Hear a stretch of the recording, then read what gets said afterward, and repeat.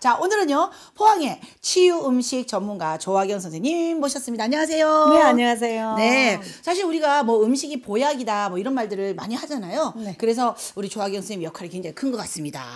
네, 요즘 특히. 네. 자, 그럼, 어, 오늘은 어떤, 어, 저희에게 이 보약이 될 만한, 어, 음식을 만들어 주실 건가요? 오늘은 이제 지금 한창 캐고 있는 연근을 가지고 야기 김치를 담을 거예요.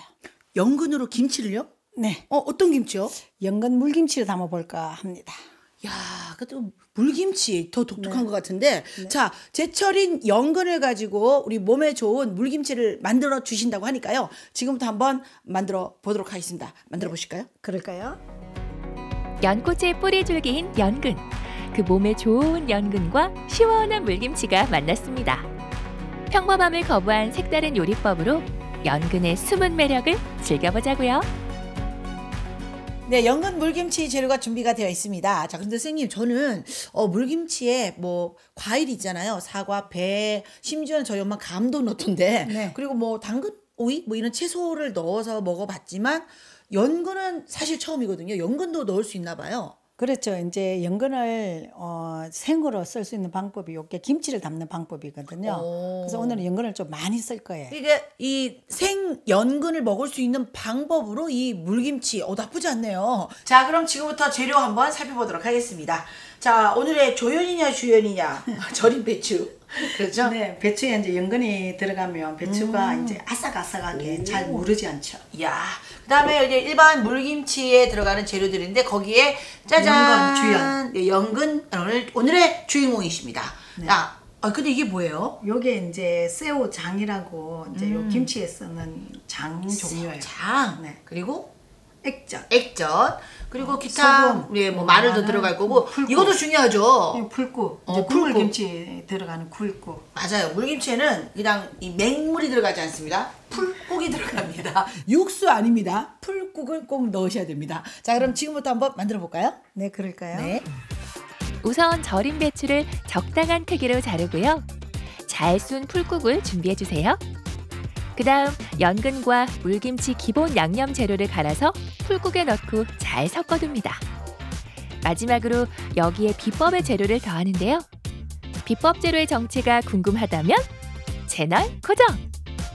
자, 이제 그 물김치 양념이라고 할까요? 물이라고 할까요? 네, 물양념? 네. 준비가 양념장. 양념장, 물 양념장이라고 해야 되겠네요. 자, 이게 좀 뭐랄까 걸쭉한 양념이 만들어졌는데, 어, 양념을 제가 만들면서, 어, 저 재료는 아까 소개 안 했는데, 어, 갑자기 나타난 재료가 있었어요. 이게 무슨 재료죠? 그 이제 물김치, 연근 물김치 양념인데 음. 특별히 이제 표고버섯 가루나 뭐 양파 가루, 마늘 가루 요런 것들을 섞어서 미리 숙성을 탁 시켜놔요. 그러면 이제 요게 연근의 생 연근을 많이 쓰니까 그런 아린 맛을 싹 잡아주는 거죠. 아, 연근의 그 특유의 약간 이게 감 덜 익었을 때 먹은 약간 떡떠부리한 맛, 이, 이 네, 맛. 네, 네. 아, 또 그 맛을 잡아주는데 네, 네. 숙성된 양념. 네, 그래서 이제 햇 양념하고 수승된 양념을 따로 갈아주는 거죠. 어, 역할이 또 각자 있기 때문에 네. 막 섞으면 안 됩니다. 이게 따로 이렇게 어, 갈아서 만들어 주시면 됩니다. 자, 연근 물김치에서 기억하셔야 될 거는요. 숙성된 양념을 꼭 넣어준다. 네. 아, 그렇죠. 네, 자, 그럼 이제 이거 막 넣어가지고 이제 넣으면 끝이네요, 이제. 아니죠. 이제 요 생연근을 많이 갈았기 때문에 네. 배추김치 비비듯이 켜켜로 이렇게 해주고 마지막에 이제 이렇게 해주면 돼요. 아, 보통 우리 김장 김치나 김치 할 때 여기 이렇게 하나하나 양념 네, 네, 묻히는 네, 것처럼 네, 그것도 네. 한다고요? 네. 야, 이 연근김치, 물김치가 은근히 좀 까다롭네요. 막 써서 넣, 넣어서 섞는 게 아닙니다. 정성을 들여 만든 연근 물김치. 자, 그럼 한번 마무리해 보도록 하겠습니다. 한번 음, 묻혀볼까요, 양념? 네, 요거를 준비된 물김치 양념장에 채썬 당근과 양파 등을 넣어서 섞어주고요. 마지막으로 절인 배추 사이사이에 양념장을 골고루 발라줍니다. 짜잔! 그리하여 색감 좋고 식감 좋고 영양도 좋은 연근 물김치가 완성됐습니다. 아, 연근 물김치. 아, 보기만 해도 벌써 군침이 확 도는데 말이죠. 자, 그런데 오늘 이 연근 물김치는 아, 일반 물김치와는 좀 달랐던 점이 있었어요. 어, 풍덩 넣는 게 아니라 그 전에 양념을 골고루 발라주는데 다른 일반 물김치도 그럼 그렇게 하면은 좀 도움이 될까요?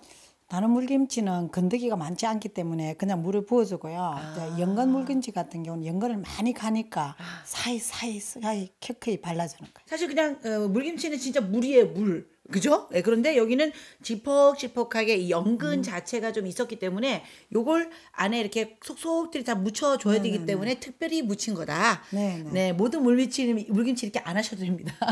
자, 아, 그럼 맛을 한번 보도록 하겠습니다. 이 물김치는요 이렇게 이게 자르면 안 돼, 자르면 안 돼. 이게 길쭉하게 먹어야 돼요. 여기 위를 이렇게 잘라가지고 그냥 먹어도 맛있는 물김치에 제철 맞은 연근까지 들어갔으니 그 맛이 어떨지 너무 궁금한데요. 멈추지 않는 젓가락 행진을 보니 밥도둑계의 신흥 강자로 등극할 것 같은 강력한 예감이 들죠.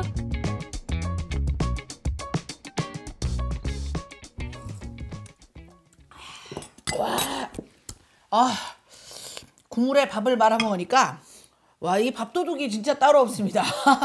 입맛 없을 때 국물을 말아가지고 호로록 먹으면 진짜 맛있을 것 같아요. 그렇죠. 아주 시원하고 아삭아삭하고. 음 그리고 연근이 들어갔다라고 전혀 생각을 못 할 것 같아요. 그렇죠. 연근이 안에서 싹 사가버리고. 음, 그러니까 아이들에게 연근을 좀 먹이고 싶을 때는 사실 여기 고춧가루가 들어가고 하면 좀 아이들이 매울 수도 있잖아요. 근데 고추를 살짝 줄이면 돼요. 그렇죠. 그러니까 이렇게 맑은 물김치를 만들어서 아이들 밥 말아서 먹이면은 연근을 마음껏 먹일 수 있을 것 같아요. 그렇죠. 굳이 뭐 물엿에 졸이지 말고. 아, 그러게 말입니다.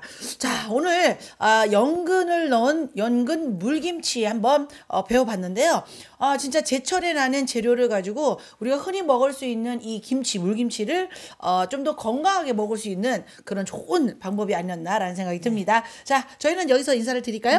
네. 여러분 건강하세요. 지금까지 로컬 레시피였습니다. 점점 더 깊어가는 가을날. 영양과 맛 그리고 식감까지 다 잡은 연근 물김치로 더 맛있고 더 건강하고 더 색다른 가을 밥상을 차려보세요.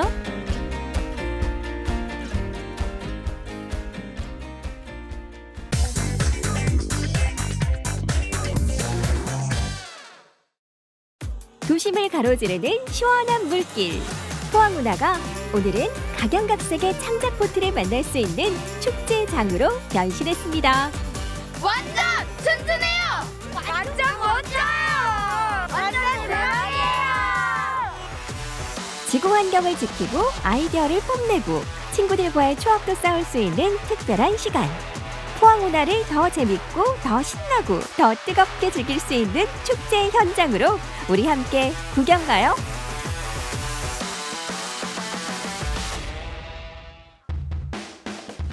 올해로 7회째를 맞은 포항 문화축제. 가장 눈에 띄는 행사는 경북 청소년 에코보트 경연대회인데요. 다들 출정 각오가 예사롭지 않습니다.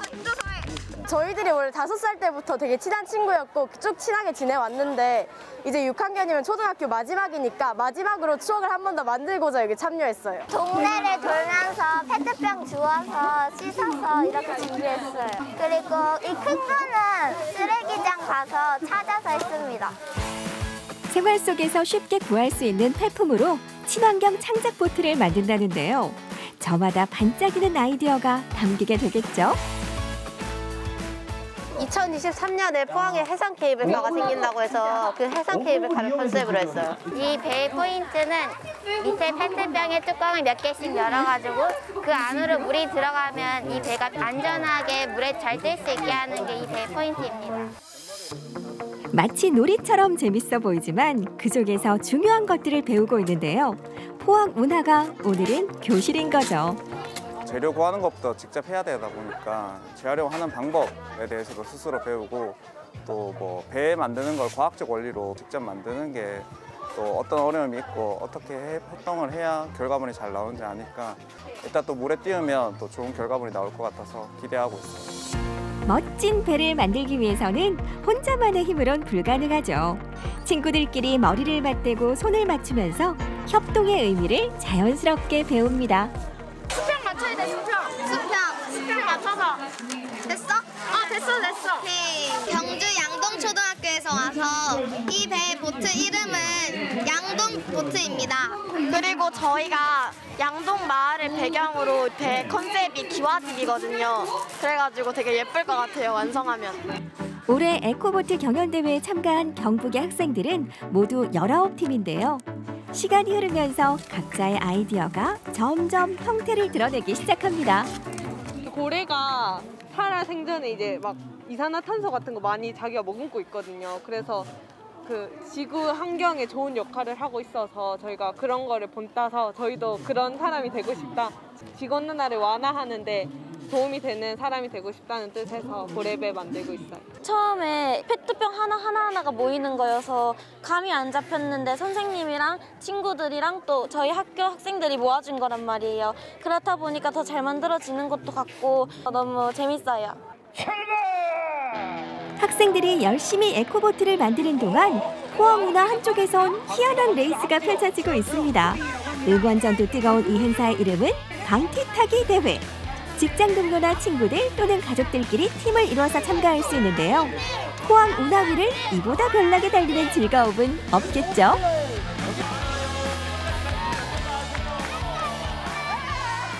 처음 참가했는데요. 아, 너무 기분이 좋습니다. 주걱이 무거워가지고 이게 노젓는 게 쉽지가 않습니다. 아이 때문에 출전하게 됐는데 아, 우승하게 돼서 너무 기분 좋아요. 아, 재밌네요. 물에 빠질 것 같기도 하고 재밌네요. 자, 그럼 다시 에코보트 경연대회장으로 가볼까요?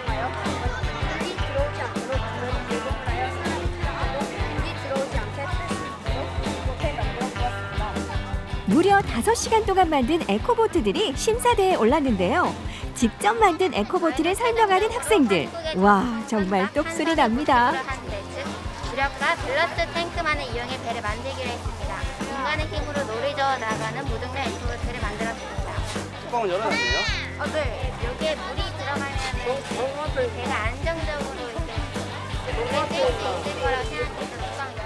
학생들이 일단 배를 만들어서 물에 띄워야 돼서 과학적 원리를 잘 알고 있냐가 첫 번째 기준이 될 거고요. 두 번째는 이제 재활용품을 얼마나 잘 활용했는지가 될 거고요. 세 번째는 그러니까 저희가 어, 학생들의 정말 학생들이 얼마나 정말 직접적으로 만들었고 참여했느냐 이런 정도로 저희가 기준을 잡고 심사하고 있습니다. 에코보트를 만들었으니 실제로 물에 잘 뜨는지 확인해 보는 것도 꼭 필요한 심사 과정인데요. 우와, 예상보다 더 잘 뜨는 것 같죠?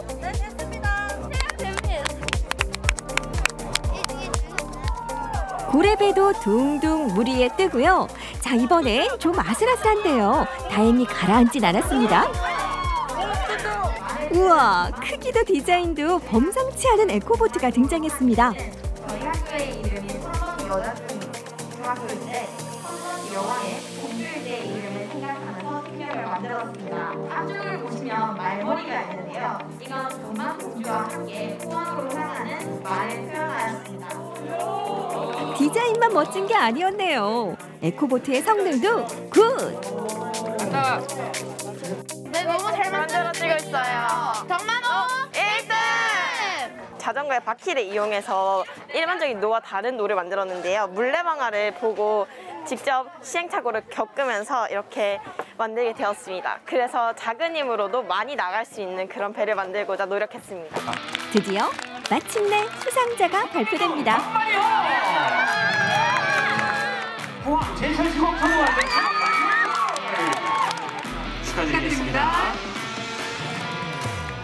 그냥 친구들하고 추억 쌓기를 그냥 나왔는데 이렇게 상까지 받고 너무 좋아요 지금 추억을 더 깊게 만든 것 같기도 하고 되게 기억에 남을 일을 하나 만든 것 같아요 앞으로는 이제 좀 쓰레기를 분리수거해야겠다고 생각했어요. 귀찮아서 막 버리곤 했는데 그게 다 바다라고 할 줄 몰랐거든요. 포항 문화축제 내년에 또 만나요. 폐품을 이용해 근사한 에코보트를 만들고 친구들과 잊지 못할 추억도 쌓을 수 있는 포항 운하축제. 내년엔 여러분도 축제 현장에서 즐겨보세요.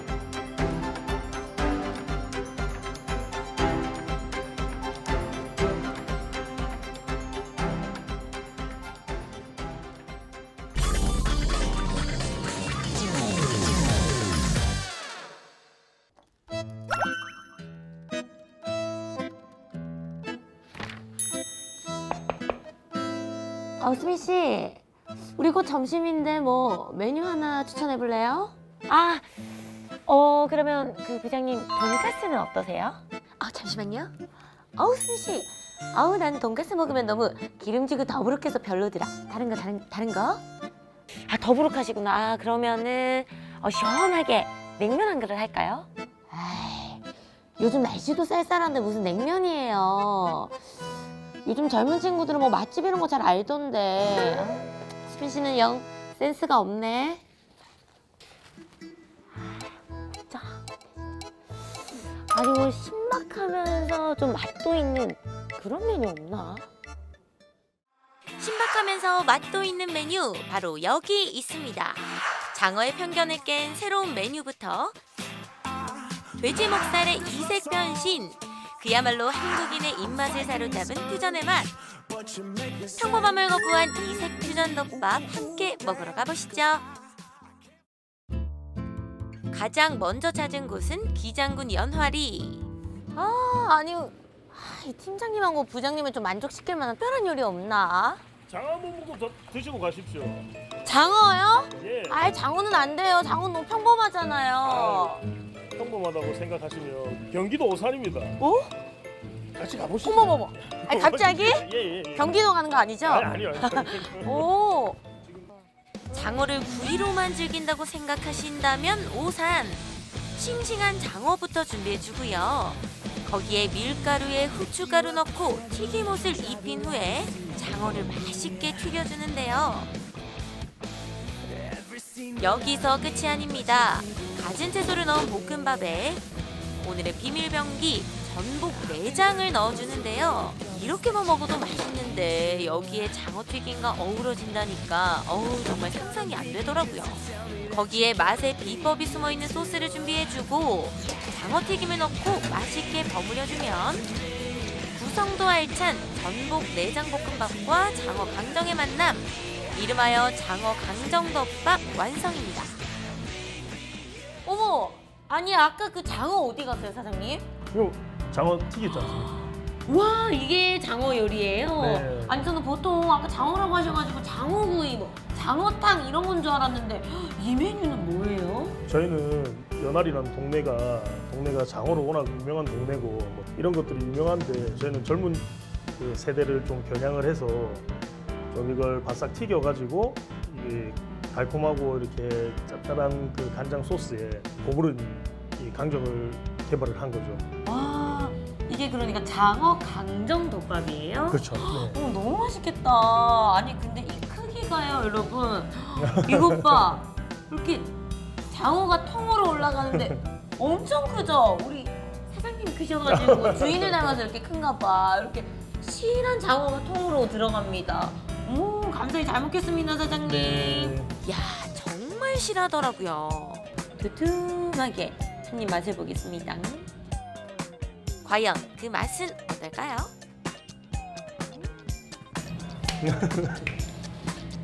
와 이게 안에 장어 속살은 진짜 부드러운데 요 겉에 감정이 진짜 남녀노소 우리 애들부터 어른들까지 다 좋아할 수밖에 없는 그 맛 있잖아요. 달콤하면서 좀 짭짤하면서 바삭하면서 다 하는데요 진짜. 이게 진짜 맛있더라고요. 일반 닭강정 같기도 한데 여기에 장어가 들어갔으니까 아우 말해 뭐 하겠습니까? 근데 이게 덮밥인데 밑에 밥 색깔이 왜 이래 상한 거 아니죠? 저희는 저희 가게 모든 메뉴에 그 볶음밥이 이제 전복 죽에 이제 들어가는 그 전복의 초록색 내장 있죠. 그 내장으로 이렇게 볶아낸 밥이거든요. 그러니까 전복죽 드셨을 때 그 눅진하고 이렇게 진한 전복의 향이 이제 저희는 이제 또 젊은 친구들이 젊은 세대가 좋아할 수 있게끔 이렇게 볶아가지고 그 향은 그대로 빼고 오 요거 요거 진짜 요물이더라고요. 고소한 내장의 그 풍미는 그대로 살아있는데 한번 볶아놓으니까 네. 이것도 우리 MZ 세대 감성을 딱 건드려 주셨네요. 어, 이 정도면 우리 팀장님, 부장님 완전 합격할 것 같은데? 먹고 먹고 또 먹고 자꾸만 당기는 그 맛. 거기다가 이 몸 모양까지 챙긴 장어잖아요. 이건 남녀노소 누구에게나 사랑받을만 하죠. 정말 든든하게 먹었습니다. 어우 정말 맛있더라고요. 아, 어우 배불러. 아니 장어 하면 저희가 흔하게 생각하는 요리들이 많은데 이렇게 퓨전으로 즐겨보니까 맛도 새롭고 입맛까지 싹 사로잡는 게 어우 이 친구 괜찮네요. 오. 이번에는 젊음의 거리 전포동으로 향했습니다. 어머 사장님 안녕하세요. 아니 여기 오면은 아주 이색적인 음식을 만날 수 있다고 했는데 제가 잘 찾아왔나요? 어, 네, 잘 찾아오셨습니다. 저희 대만식으로 음식, 퓨전 음식을 하고 있는 네. 오 대만식이요? 아니 안 그래도 요즘 여행도 잘 못 가는데 여기서는 어떤 대만 음식을 맛볼 수 있나요? 시그니처 음식인 차슈덮밥이 유명하고요. 오. 저희 일식이랑은 조금 다른 덮밥입니다. 기대해봐도 될까요? 네, 기대해 주셔도 좋습니다. 오. 먼저 딱 봐도 군침이 도는 돼지 목살에 발효두부와 중국식 된장, 깨로 만든 대만식 소스에 재워주고요. 24시간 숙성 후에 숯불에서 아주 천천히 익혀줍니다. 고기가 익는 동안 밥에 양파 절임과 쪽파를 넣어 준비해주고요. 숯불에서 일자로 익힌 목살에 이 차슈 소스를 덧발라 토치로 불맛까지 잡아줍니다. 이제 예쁘게 썰어서 밥 위에 아낌없이 올려주고 화룡점정 오이와 마늘 후레이크로 마무리. 바로 이어서 두 번째 시그니처 메뉴 칠리 가지 튀김입니다. 튀김옷을 입힌 가지를 맛있고 바삭하게 튀겨준 후에 기름기를 쫙 빼고 칠리 소스를 듬뿍 얹어주는데요. 이렇게 하면 우리 팀장님과 부장님의 사랑을 듬뿍 받을 목살 차슈 덮밥 그리고 칠리 가지 튀김 완성입니다. 감사합니다. 그럼 제가 맛있게 맛을 한번 보겠습니다. 자, 이제 오이부터 덜고 시키신 대로 요 양파하고 쪽파 위에다가 이제 요 차슈를 이렇게 탁 덮어서 이불 덮듯이 이렇게 먹는 거죠. 자, 요렇게 요렇게 양파하고 쪽파하고 차슈까지 딱 덮어졌을 때 이렇게 한 입. 오. 야, 이 뭐든지 저 첫입이 진짜 맛있는 거 아시죠? 아우 저 아우 표정 보세요 표정 또 생각나네요. 정말 맛있더라고요. 와, 아 이 맛이구나. 아니 딱 표현을 하자면 진짜 맛있는 이 차슈가 약간 돼지갈비하고 양념이 비슷하거든요. 이 돼지갈비의 달콤하면서 짭조름 향은, 향은 있는데 거기에다가 이제 쪽파하고 양파가 어우러지니까 이 특유의 이제 대만의 그 향신료도 살짝 나고 오 한국인의 입에 딱 맞는 맛이에요. 오. 정말 우리가 흔히 아는 그 단짠의 맛이 그대로 배어 있어서 진짜 중독되더라고요.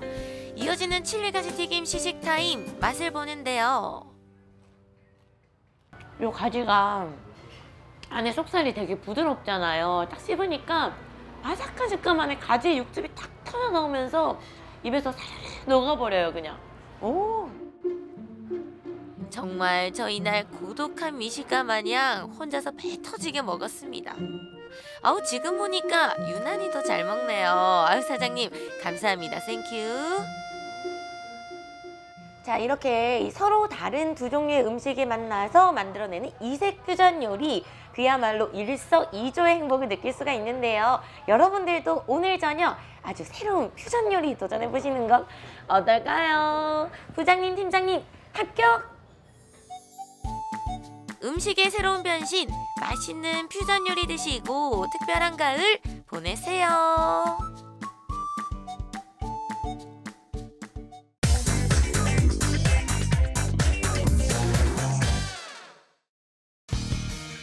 언어 능력이 경쟁력인 글로벌 시대.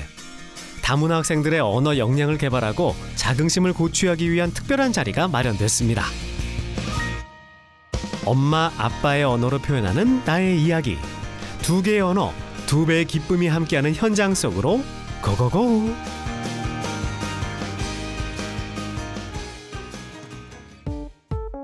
전남 여수에 위치한 전라남도 국제교육원이 오늘따라 많은 사람들로 북적거리는데요.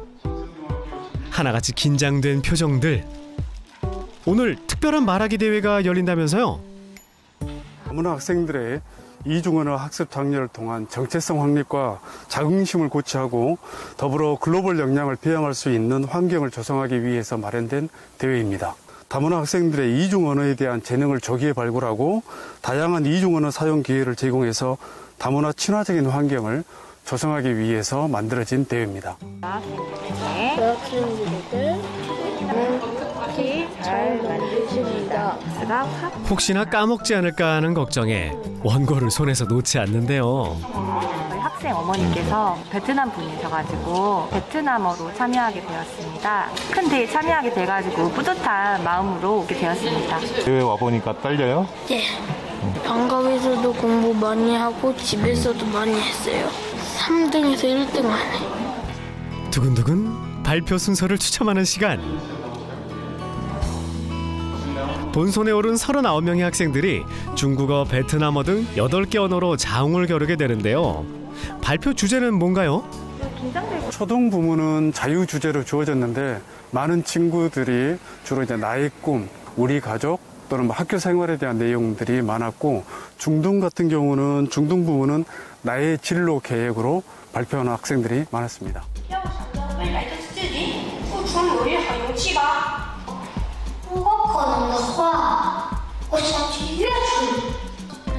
긴장했지만 누구보다 씩씩한 모습으로 발표하는 친구들. 객석에서는 카메라 세례가 쏟아집니다. 그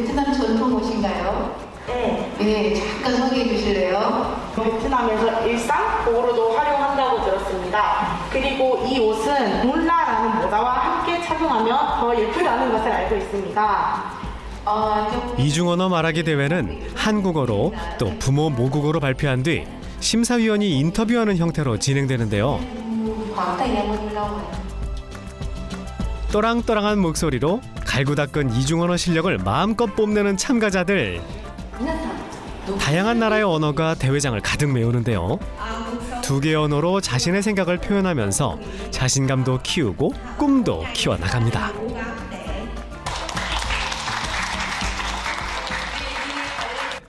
드디어 모든 참가자들의 발표가 끝나고 피할 수 없는 심사의 시간. 어른도 이중언어 말하기는 쉽지 않은데요. 이번 대회에 참가한 학생들 모두 언어 능력이 출중해 심사위원들도 고심에 고심을 거듭했다고 합니다. 어떤 기준으로 심사하셨는지 궁금합니다. 일단은 한국어와 모국어에 대한 능숙함, 그리고 전달력, 표현력, 태도 이런 것을 보고 중점을 뒀죠. 요즘 다문화 시대가 보편화되어 있고 상호 간의 문화를 서로 배운다는 입장에서 이런 언어, 이런 이중 언어 말하기 대회는 점점 확대돼야 된다고 생각을 합니다. 우리 아이들의 수준이 상당히 높아서 기대됩니다. 전남교육 화이팅입니다. 열띤 심사가 진행 중인 바로 그 시각 발표를 마친 아이들은 나라별 전통문화 체험 삼매경에 빠졌는데요. 여러 나라의 전통 의상을 입어보고 놀이를 즐기면서 뜻깊은 시간도 가지고 서로 다른 문화와 전통을 존중하면서 다문화 사회를 이해하고 다문화 감수성을 키워나갑니다. 어, 여러 나라 의상이나 뭐 이런 전통 놀이 이런 걸 경험할 수 있어서 너무 좋은 경험이었던 것 같습니다. 더 문화에 대해서 알 수 있었던 그런 경험이었던 것 같습니다. 자리를 정돈해 주시기 바랍니다. 두구두구두구 드디어 수상자를 발표할 시간. 객석에서는 환호성과 뜨거운 박수갈채가 쏟아지는데요. 서로 다른 언어를 이해하며 함께 배우고 조금 더 성장하는 시간이 되었길 바래 봅니다. 다문화 학생들을 위해서 학교로 찾아가는 이중 언어 교실을 운영하고 있고요. 그리고 이제 원격 화상 시스템을 이용한 원격 화상 이중 언어 교육을 실시하고 있습니다. 그리고 이중 언어 의사소통 향상을 위해서 이중 언어 캠프도 운영하고 있습니다. 초등 대상 수상자 한 명과 중등 대상 수상자 한 명은 11월 5일에 이루어지는 전국대회 참가자로 추천하게 됩니다. 멋진 도전의 시간을 가진 오늘의 참가자들. 얼굴 가득 환한 웃음이 떠나질 않는데요. 전국 이중언어 말하기 대회도 자신 있죠? 떨렸었는데 열심히 하고 받으니까 기분이 엄청 좋아요. 다음 대회도 열심히 해서 해보겠습니다. 이렇게 음, 큰 상은 받게 음, 되는 거 음, 상상도 못했습니다. 여러분 저한테 기회 주시, 주시면 그 실망 시키지 않도록 하겠습니다. 그리고 앞으로 더 열심히 어, 연습하겠습니다. 전남 지역 이중언어 인재들이 한 자리에 모인 축제의 장 이중언어 말하기 대회. 두 개 나라 언어의 힘, 세 개가 곧 나의 무대인데요. 이 자리를 빛낸 여러분이 바로 글로벌 인재입니다. 대회에 참가한 우리 친구들의 표정들을 보면 굉장히 설렘과 기대가 가득한 얼굴들입니다. 어, 이런 그 기대에 찬 얼굴들을 아마 많은 분들이 보시면 다문화에 대한 생각들이 바뀔 거라고 생각을 합니다. 그래서 다양한 그 친구들이 함께 살아갈 수 있는 그런 사회가 돼야 되지 않겠는가 이렇게 보고 있습니다. 전국 이중 언어 말하기 대회에서도 파이팅!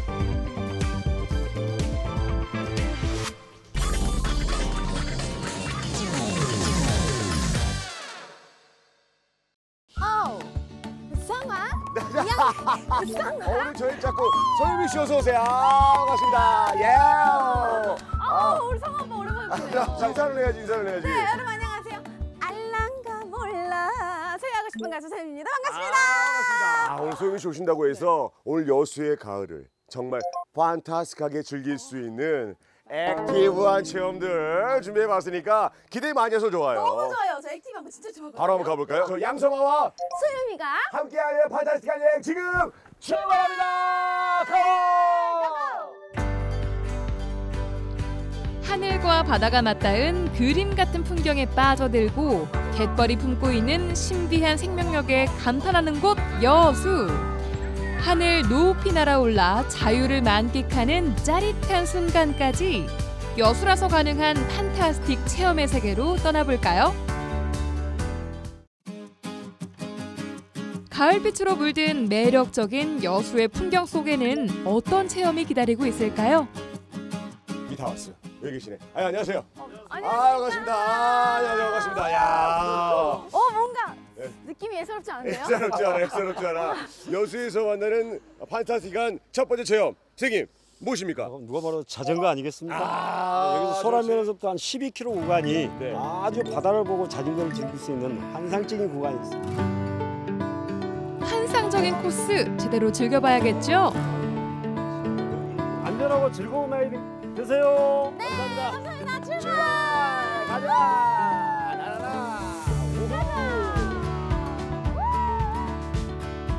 황금빛으로 물든 논두렁을 따라 달리면 가을 빛깔이 마음속에 포근히 안깁니다.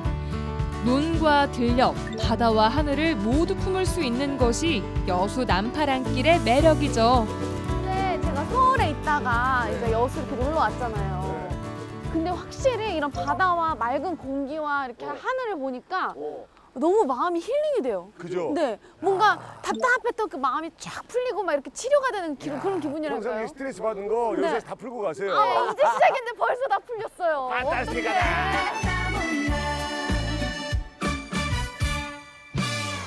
오늘처럼 산들산들 바람이 불면 내 마음도 설렘에 심고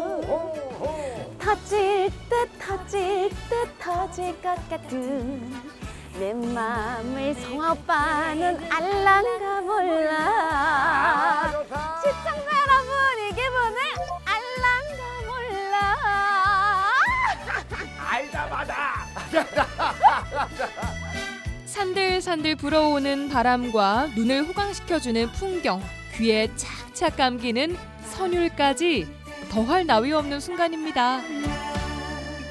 도착. 아, 도착. 도착. 이거 보세요. 갯벌 노을마을. 노을마을? 아, 갯벌에서 우리가 탈 수 있는 체험들이 너무 많거든. 아. 오, 체험에서 저기 유현장 계시다.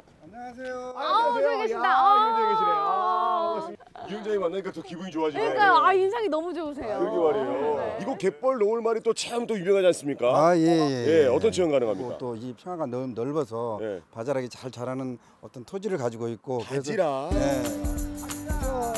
두 친구의 목표는 바지락. 여자만 갯벌의 풍성한 생명력을 건져볼까요? 잠깐만요. 저 애기들 많이 큰 것 같아요, 애기가. 네, 많이 컸어요. 뭐야? 우리 애기 많이 키웠어요. 어머나. 야!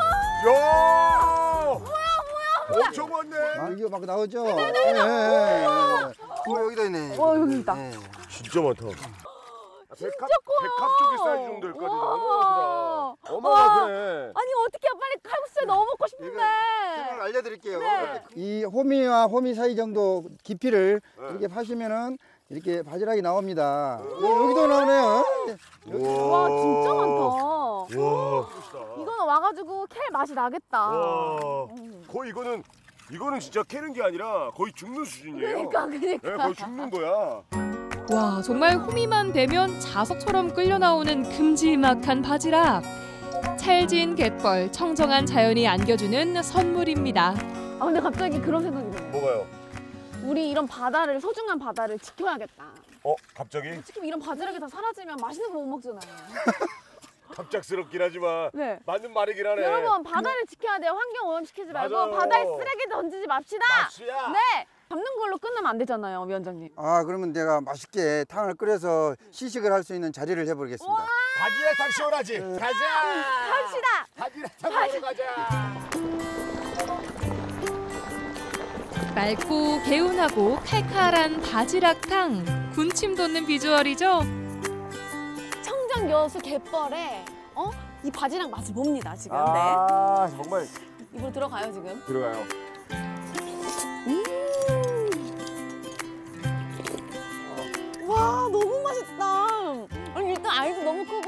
쫀득쫀득하고 네. 담백하고. 아, 아. 진짜 여수의 아름다운 대자연을 우리 몸속으로 딱 집어넣는 거였잖아. 여수 바다야, 사랑해. 사랑해요. 자 이번엔 짜릿한 수리를 맛보러 갑니다. 사장님 안녕하세요. 아 반갑습니다. 아 반갑습니다. 야. 와, 설마 이거예요? 유미 씨. 이거 해봤어? 패러글라이딩. 패러글라이딩. 저 아, 한 번도 안 해봤어요. 그래요? 네. 몸무게 제한만 좀 있을 뿐이고요. 몸무게요? 예, 예. 어, 몸무게 혹시 25kg부터 100kg까지. 아, 어떡하지? 24kg는 안 되겠다. 안녕히 계세요. 돌아와 돌아와 돌아와. 네. 사실 우리가 누구를 믿고 해야 되나 이런 생각을 좀 하게 되거든요. 믿어도 됩니까? 국가대표가 지금도 국가대표로 아, 국가대표세요? 네, 활동하고 있습니다. 그렇다면 믿음이 가네. 국가대표 패러글라이딩 선수들과 함께하는 짜릿한 체험. 해발 380m 천성산 정상에서 시작합니다. 잠깐만요. 잠깐만. 저, 저 고소공포증 있는 것 같아요. 갑자기 네, 생겼어? 네, 네. 이순신 장군이 옛날에 네. 그 무대인데. 아 그래요? 아주 멋지죠. 그니까요. 근데 안 들려요. 제가 5년 전에 타봤거든요. 5년 전이요? 네, 다섯 살 먹으니까 좀 많이 떨리는 것 같은데. 떨리는 마음 진정시키고 차근차근 준비를 해봐야겠죠. 바람막이용 의상과 헬멧 그리고 굳건한 의지까지 챙겨봅니다. 준비됐습니다. 아, 준비됐습니다. 근데 지금 식은 땀이 되게 많이 나거든요. 손에 땀이 이게. 바람이 상당히 좋으니까 네. 지금 나가셔야 되는데 네. 어떤 분이 먼저 아, 나가실까요? 오빠 경험이 있으니까 오빠가 먼저 한대요. 아, 젊으신 분이 먼저 하셔야죠. 세계 세계적으로 네. 가장 공평한 방법. 네.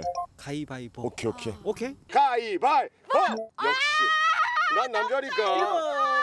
오케이 됐습니다. 예. 안녕. 이제 잠깐만요. 어이구. 이제 잘할 수 있죠? 아, 그럼요. 화이팅. 준비됐나요, 유미 씨? 어, 네, 그, 네. 말을 더듬어.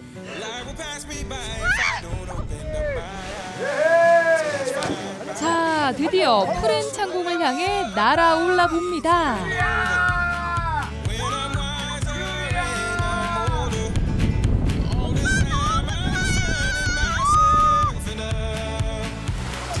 세상 두려울 것 없는 중년의 도전도 시작됩니다. 힘차게 땅을 박차고 푸른 하늘 속으로 출발! 산과 하늘과 바다가 한 프레임 에 들어오면서 입을 다물 수 없는 기막힌 풍경이 펼쳐집니다. 바람을 따라 오르락 내리락 세상 어디에서도 느끼지 못했던 자유로움과 짜릿함이 동시에 찾아듭니다.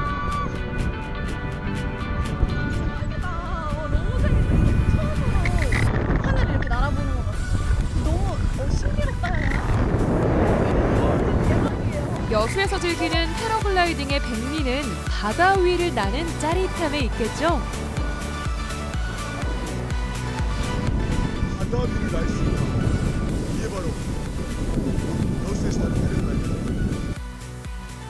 새처럼 자유롭게 하늘을 누린 시간, 아름다운 풍경을 마음에 저장하고 땅으로 내려옵니다.